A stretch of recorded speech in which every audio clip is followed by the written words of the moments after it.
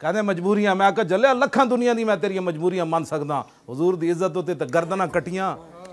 ਉੱਥੇ ਤੇ ਮਜਬੂਰੀ ਹੋਈ ਨਹੀਂ ਕਦੀ ਕਾਇਨਾਤ ਤੇ 1400 ਸਾਲ ਮੈਂ ਨਹੀਂ ਪੜਿਆ ਜਿੱਥੇ ਹਜ਼ੂਰ ਦੇ ਬਾਰੇ ਗੱਲ ਆਵੇ ਤੇ ਕਿਸੇ ਨੇ ਪਿਓ ਵੇਖਿਆ ਨਹੀਂ ਤੂੰ ਕਿਹੜੀ ਮਜਬੂਰੀਆਂ ਨਹੀਂ ਪੇ ਗੱਲਾਂ ਕਰ ਹਾਂਜੀ ਹਾਂ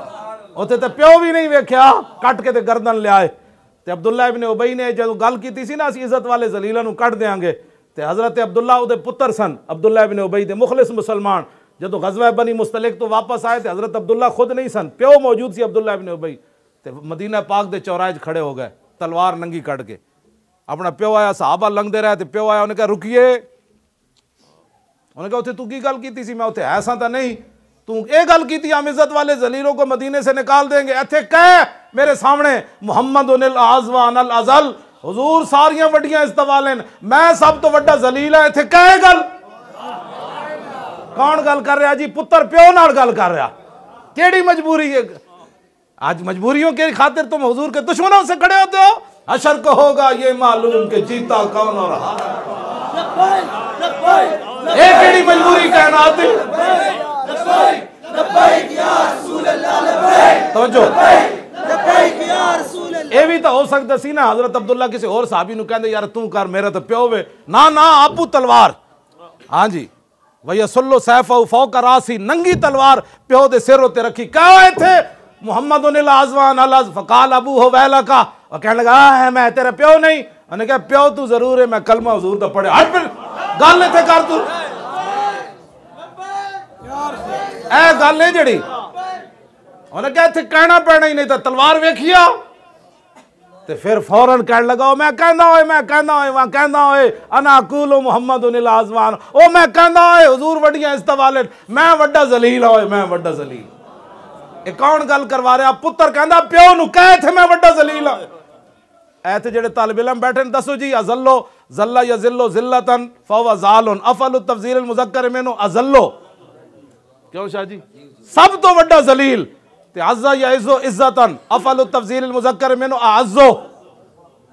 क्यों शाह जी हाँ, सब तो वाले, हजूर तो सब तो व्डा जलील मैं। इतने जनाब, काम किया कोई नहीं कहते तारीफा करो तारीफा करो। तारीफ़ इतने हज़रत अब्दुल्ला हजूर जो गल की ना तो यह नहीं साहबा जाके कहा कि मैं अज इतनी वही गल करके ना ना ना। फबलागत रसूल अल्लाह एक गल चलद चलद हजूर तक पहुँच गई। ਕਿ ਅੱਜ ਪੁੱਤਰ ਨੇ ਪਿਓ ਨਾਲ ਇੰਜ ਗੱਲ ਕੀਤੀ ਨਬੀ ਦੀ ਇੱਜ਼ਤ ਵਾਸਤੇ ਤੇ ਫਆਜਬਹੂ ਹਜ਼ੂਰ ਬੜੇ ਖੁਸ਼ ਹੋਏ ਇਹ ਨਹੀਂ ਫਰਮਾਇਆ ਉਹ ਪੁੱਤਰ ਉਹ ਪੁੱਤਰ ਤੇ ਫਿਰ ਪੁੱਤਰ ਹੀ ਉਹ ਨਾ ਹੀ ਹਜ਼ੂਰ ਫਆਜਬਹੂ ਅਗਲੀ ਗੱਲ ਤੇ ਵੈਸੇ ਹੀ ਮੈਨੂੰ ਡਾ ਜਾਂਦੀ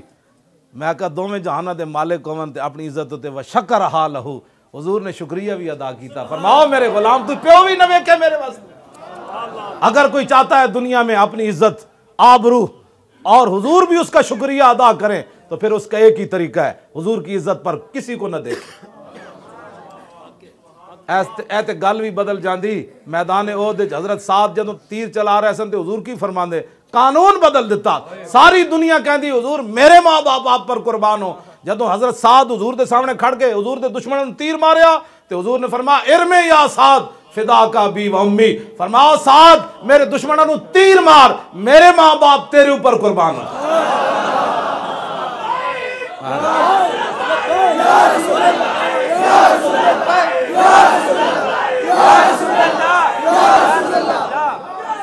एक हज़ार तीर चलाया मैदान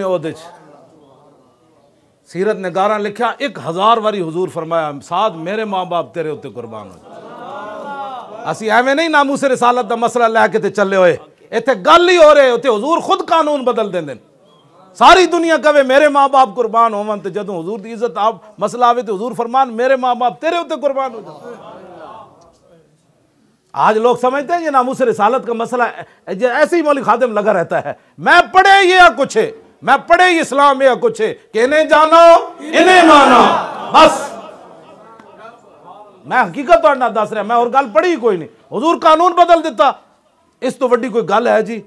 हिरमे यासाद फिदा का अभी व अम्मी अल्लाह